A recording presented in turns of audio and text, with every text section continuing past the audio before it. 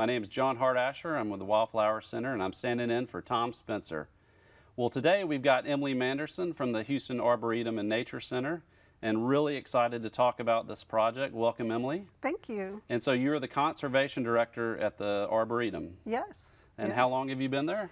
Um, I've been there for about five years now, but actually I started out as a consultant when I was at the Wildflower Center. Yes. Um, and so now it's a total of seven years I've been involved on this project. That's great. So tell us a little bit more about uh, the Arboretum and sort of the background of, uh, for people who might not know. Sure. The Arboretum is a really special place. We're 155 acres. Um, within central Houston. We're right next, we're about six miles from downtown, right next to the Galleria, and many people didn't even know we existed. We're 10% of Memorial Park, so we're parkland, but we're a private nonprofit. And we have a dual mission of education and conservation. We educate primarily younger people. Now we're building our adult programming as well. And we educate people about native ecosystems of Houston. It's one of the few places in Houston where you can really see all the different ecosystems intact. You just sort of wrapped up a, a couple of years back with the master plan process. And can you tell us a little bit about uh, why y'all decided to sort of get in an endeavor like that? We're in mid-implementation of our master plan and we have about a year more left. Really what happened in 2008, we had Hurricane Ike, which had really strong winds versus Harvey, which was more um, water. And um, then we had the drought, which was here more extensively in Houston. It culminated in 2010 and 11. And we ended up losing, along with Memorial Park, 50% of our tree canopy. And that was a big eye opener for the Arboretum. And so they decided to go through this master plan process because our executive director, Debbie Markey, said that we couldn't meet our mission because half of the mission of conservation, the landscape, was in such bad um, state. And so through that process, they saw this as, even though it was a huge devastation and loss, it was an opportunity to um, look at the landscape and how to build in diversity and make it more resilient for climate um, events that will happen again in the future since we've started the project, we've already had, we've had Harvey, we've had other right. big events happen, and we know we're going to have more of those. So tell us a little bit more about what all of that is involved, because I know y'all have stepped past the design process and moved into some actual implementation. The design, which was led by Design Workshop, they were the lead designers, and it was a big, a big team.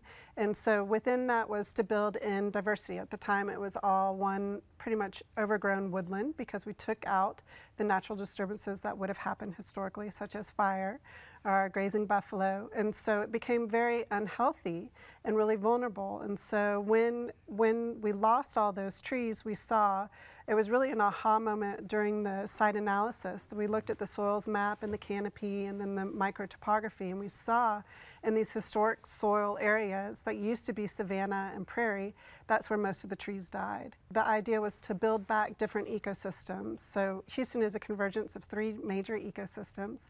The Gulf Coast Prairie, which really extended all the way from the Gulf Coast up to Canada. Right. And then um, the piney woods and then the post oak savanna. So it really wasn't as wooded as it is now. It didn't have historically as many trees. For uh, viewers who might not know, could you define really what a savanna is versus, I think everybody has the iconic image of a prairie or a grassland, but what exactly is a savanna? Yeah, that's a great question. And that we actually have built different learning nodes mm -hmm. where we define those different things. So we have a savanna area, a prairie, a woodland, a wetland, and a riparian because we're right on the bayou. We're also on Buffalo Bayou. So a savanna is really in that transect. So you have prairie, and a prairie is about 10% um, trees, you have very few trees, and then you get into savanna and the density of the trees becomes a little bit more, but you still have enough light to have that grassland ecosystem. So it's about 20% trees, and then you get into the woodlands during our initial master plan, the vision, it was going to be much more prairie, but what we've discovered is that there are motts, which are these clusters of trees. There are more of those than we anticipated, so it's primarily we restored about 20 acres of savanna. Okay, well that's great. I know that you'd mentioned a lot of the trees that either died because of the drought or, or from the effects of the hurricane, but uh, perhaps there are a few people a little worried about you being anti-tree, uh, removing some of that growth? Well, Houston, there, you know, well, I think most places there's an attachment to trees, Right. and um, not as much love for the grassland systems, um, even though we are grass lovers. Really, we were nervous about the impression and the reaction, and what we did is we started out um, a small success versus a large failure, and we did a five-acre pilot. And um, we, we really had very few negative feedback. And I think that was a lot because of the visioning sessions that we did and working with the stakeholders. And then also because we're an educational institution, we were really educating the value of what we were doing. And it also gave us the opportunity to work with the city because the city also had an ordinance at the time that if we took down trees, we were going to have to replant them, even if it was for restoration purposes. But then that changed during our process. And now we have such a credit that if we need to remove more trees beyond the master plan, the master plan is really just the upper one third portion of the site, that we can do that. And then also, I think because of the flooding in Houston, people are um, changing their perspective on the value of grasses and what they do for infiltration.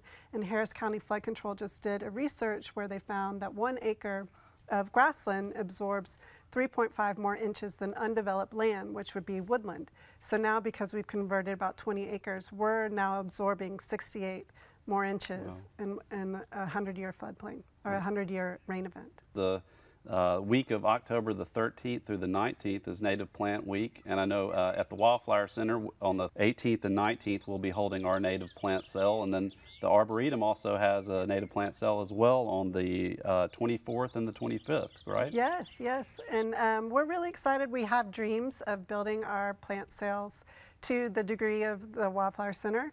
Um, in Houston, there's a lot of smaller pockets. And so, what we did for the spring plant sale, we did a collaborative one. So, we did one with the Houston Audubon and Houston Parks and Rec, actually.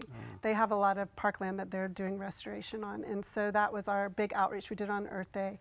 So, we'll be doing that probably every spring, a really big one. And then the fall, we're hoping more and more. And this was the first time that actually people were buying grasses.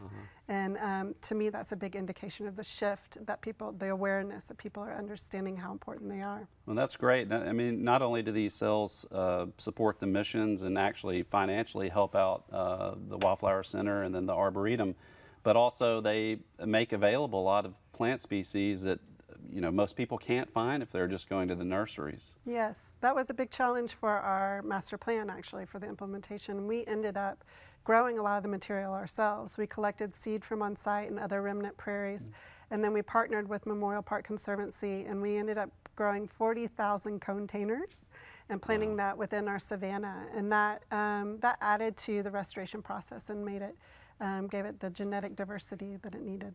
Well, I, I know you know we, we've known each other for a while, and I know that human health and well-being has been also something very important to you, espe- particularly when it's tied to the landscape. And I'd just like to hear a little bit more about really your thoughts about what that passion is that you have for uh, health and well-being. And Well, I think we're just wired to be in nature, and I think especially, you know, um, Lady Bird would talk about sense of place, and to see a healthy ecosystem. There's just something that happens to our bodies that, um, you know, there's a lot of science behind that and the benefits of that. It brings me great joy, and it brings me great joy to see Houstonians learning what their ecosystem really looks like and how they could use that at all different types of scales.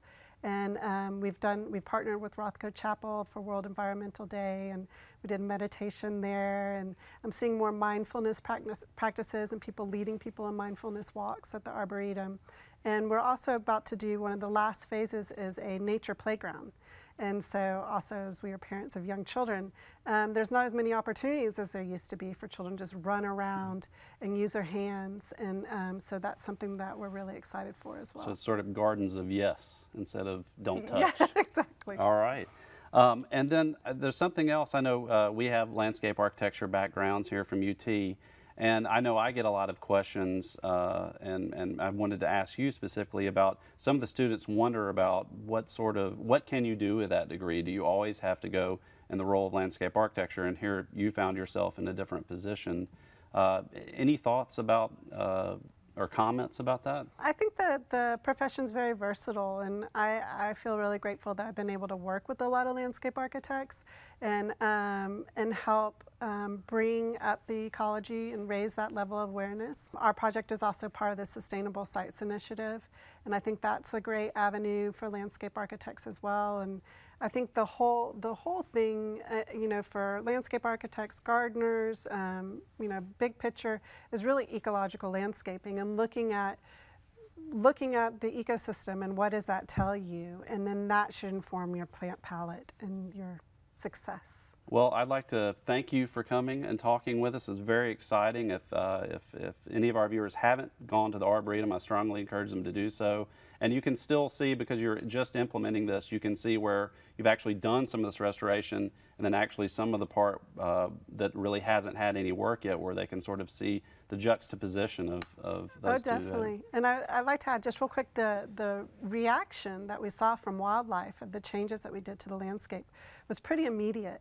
And we've already had um, nine species that were never seen on site before, one of which is a woodpecker, which is Texas Park and Wildlife. Um, it's one of the species of greatest conservation need. We've had so many indications that we're doing, moving things in the right direction. Well, that's wonderful. Thank you so much for visiting with us, Emily. And now we'll check in with Daphne.